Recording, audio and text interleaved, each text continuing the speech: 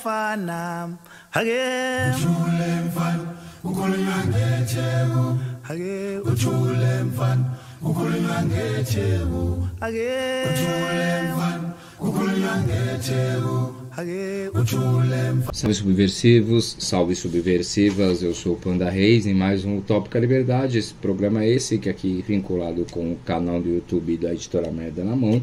E hoje eu queria falar da primeira tentativa de Revolução Democrática Brasileira em 1798. Pasmem, mas há mais de 226 anos atrás, em agosto de 1798, em Salvador, iniciou-se uma tentativa de revolução democrática e popular por aqui, reunindo escravizados, soldados e trabalhadores, quer ouvires, artesãos, pedreiros, alfaiate, entre outros da classe pobre eh, operária. E apesar do distanciamento da América das ideias libertárias que pipocavam eh, na Europa, essas ideias e ideais inspirados principalmente nos ideais da Revolução Francesa, liberdade, igualdade e fraternidade, que tinham derrubado a monarquia absolutista francesa em 1789.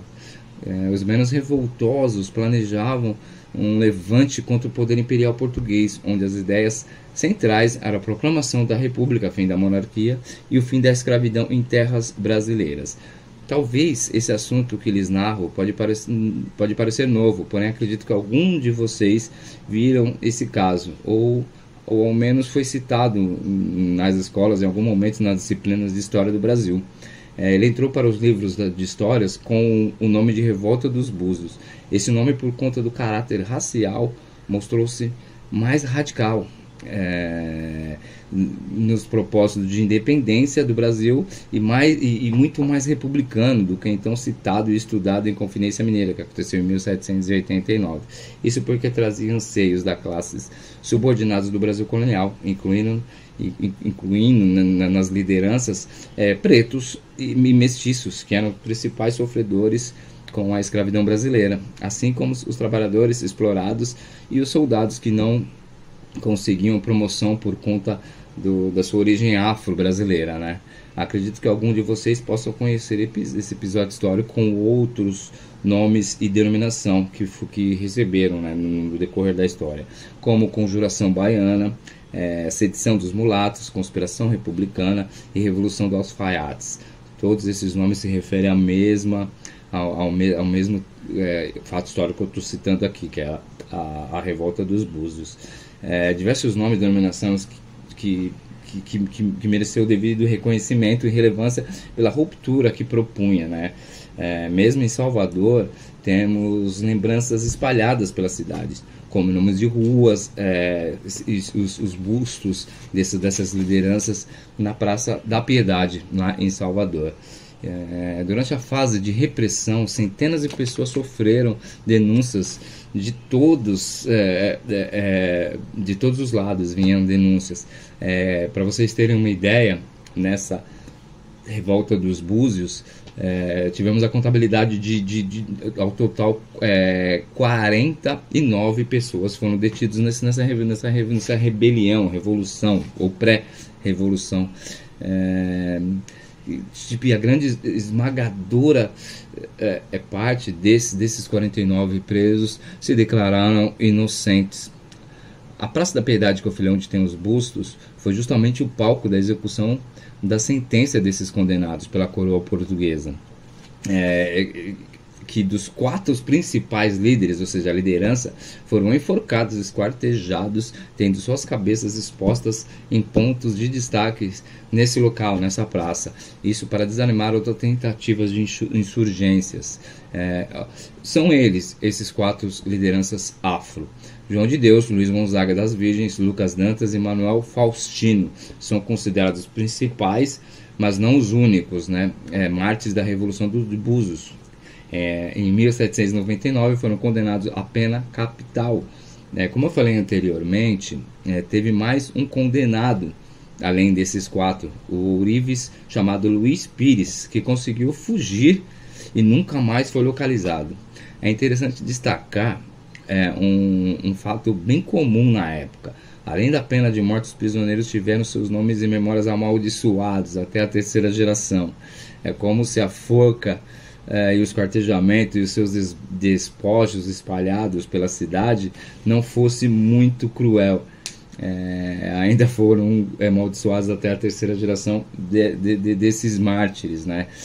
Eh, fora esses condenados e assassinados, mais alguns foram julgados e condenados à pena de degredo eh, com a determinação de irem ou seja, extraditados para a costa ocidental da África, que, é, que era fora do, do, dos domínios do Império Português na época, e que era mais ou menos o que valia a, pena, uma pena de morte, né? É, porque, tipo, como era fora dos domínios portugueses, estavam à mercê de qualquer é, acontecimento nesse exílio. A gente pode citar entre eles José de Freitas Sacora e Romão Pinheiros, deixados é, em Cará, sob domínios que era dominado sobre os holandeses, né?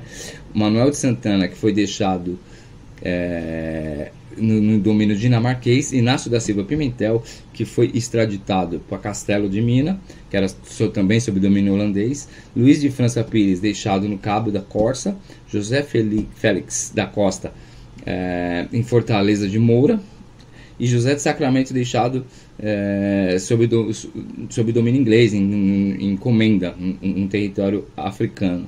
Fora essa pena de extradição, cada um recebeu 500 chibatadas e ainda foram obrigados a assistir à execução dos sentenciados a penas de morte.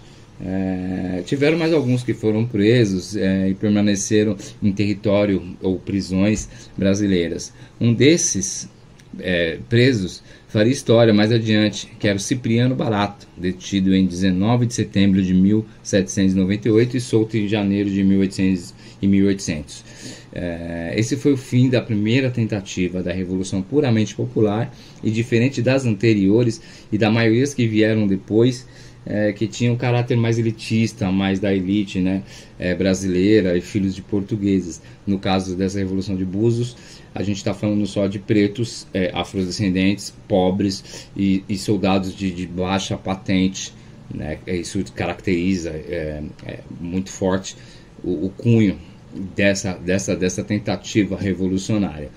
A história do afro-brasileiro é mais rica e atuante do que os livros de história e a historiografia oficial é, nos contou até os dias atuais, mas com estudos sérios, é, envolvimento relevante de intelectuais afrodescendentes, vamos ao, aos poucos conseguindo contar a nossa verdadeira história, ou pelo menos o que se aproxima é, da verdade, né? Sabido então que é, a historiografia eurocentrista acaba encobrindo alguns casos, alguma, algumas ações históricas para poder não dar a relevância é, necessária para alguns fatos históricos. Então eu acho interessante essa revolta dos búzios por, por, por um motivo é, étnico e pelo motivo social. Como disse, a gente tá, estamos falando de pretos escravizados, estamos falando de é, pobres, proletários, proletários, trabalhadores que não tinham nada a ver com a elite rica portuguesa ou descendente desses europeus, como na Inconfidência Mineira, como em outras revoltas que tivemos antes e posterior a esse caso é, da Revolução de Búzios lá em Salvador. É, o, o interessante que fica muito claro é o conceito né, de, da punição, a pena de morte, que era muito comum é, você enforcar, você escortejar e espalhar é, pela cidade os restos mortais dos condenados. Isso ficou muito claro, todo mundo conhece o caso de, de, de Tiradentes, mas não era um único e pode ver que era recorrente com a, é, essa punição com a coroa portuguesa na época, né? Então eu acho que tipo que a cada dia, a cada ano a gente vai descobrindo um pouquinho mais da real é, da, da, real é, atitudes e, e, e, as verdades da nossa história brasileira, da história do afro brasileiro, da história do, dos nativos, da história do, do, dos pobres e proletários que aqui é, vieram, isso já desde a invasão portuguesa.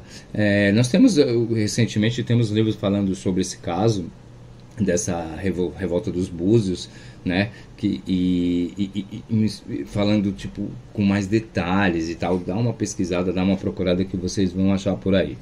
Beleza? Obrigado subversivos, obrigado subversivas, resistam para existirem e a gente se vê em breve. Até mais.